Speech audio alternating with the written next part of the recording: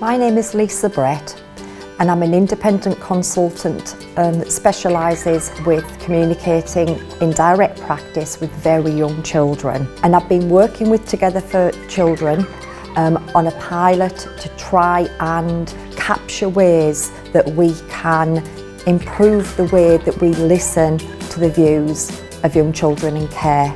Things like storybooks, puppetry, a lot of 3D work, and it's building on people's existing skills but giving them that focus of play, acceptance, actually being sensitive and focusing quite a lot on empathy.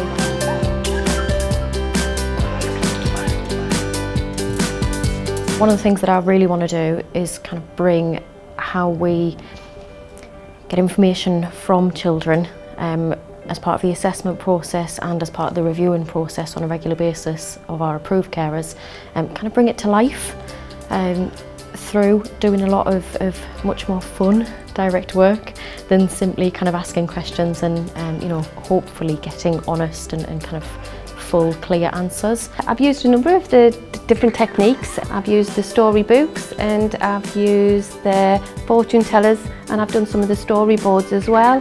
There's been varying success with different um, different methods of interaction that I've used. What I have seen is that the more that you use them, um, the better the outcomes are. I'm hoping um, that some of the techniques that we are discussing during the training will be able to really um, bring things to life for the children and put them at ease with kind of opening up and telling me exactly how they're thinking and feeling.